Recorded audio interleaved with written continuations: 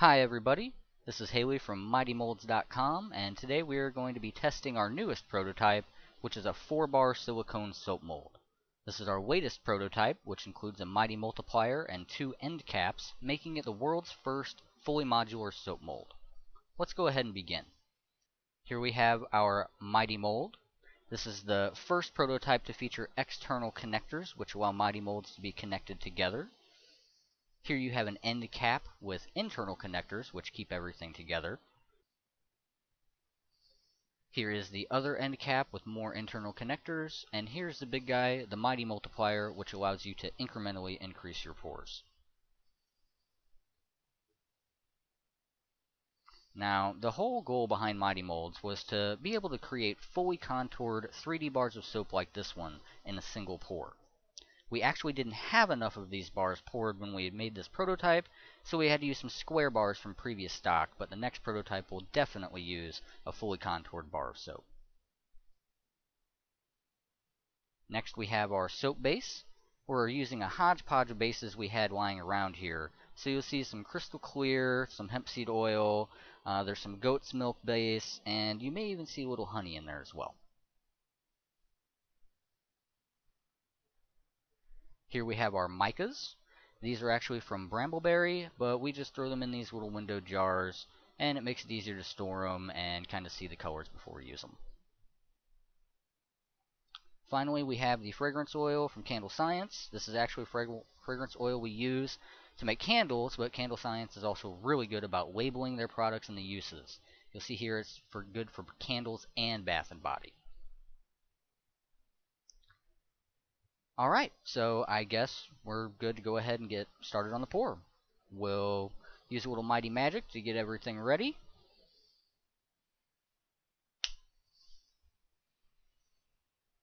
Okay, so we've got all our soap base melted and the color and fragrance oil added. So we'll start pouring. Here it might be important to note that you want to make sure you close your Mighty Mold fully. Uh, during our first pour, we had not fully closed this mold after opening it to demonstrate it to you guys, and we had a little bit of leakage issues. But as you can see, uh, we're about two bars into this pour now, and there is no leaking at all, and that's simply because we made sure to close the mold.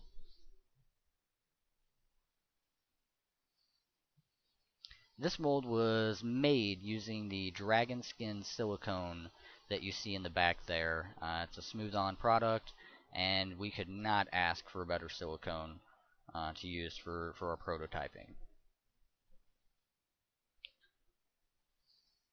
Alright, so we're just about done pouring here. This should make four nice, fully formed bars of soap. And now, I guess all we have uh, left to do is wait for it to set up. It's been long enough now for the soaps to set up, so we'll go ahead and just start unmolding them. As you can see, I moved this mold and there's been no leakage at all, so we are absolutely good there. I'm going to start peeling off this end cap here, and I'm going to be really delicate about how I do it this first time. Uh, but honestly, with the square shape of these bars, I could most likely just rip this thing right off, and there wouldn't be any issues at all.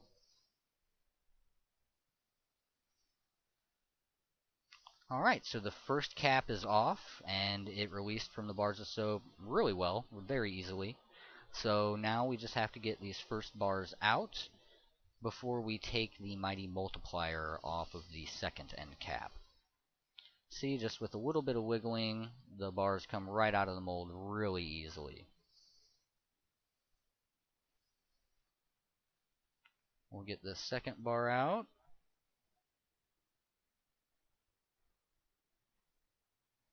Again, just with a little wiggling and, and bending of the mold, they come right out. We are seeing here that we probably should have used just a little bit more soap to make sure that these bars became fully formed. Uh, looks like the tops got a little bit underdone, so we'll probably try to make sure we pour a little bit more the next time. I was a lot less delicate that last time. If you saw, I just kind of pulled the mold right apart and it didn't have any issues at all. And we'll get this last bar of soap out, and we have now created four fully formed bars of soap from one silicone soap mold, and uh, I think you'd agree that that was a pretty easy process. Thanks for watching, and if you could, make sure to follow us on Facebook and Twitter, and visit the website at mightymolds.com.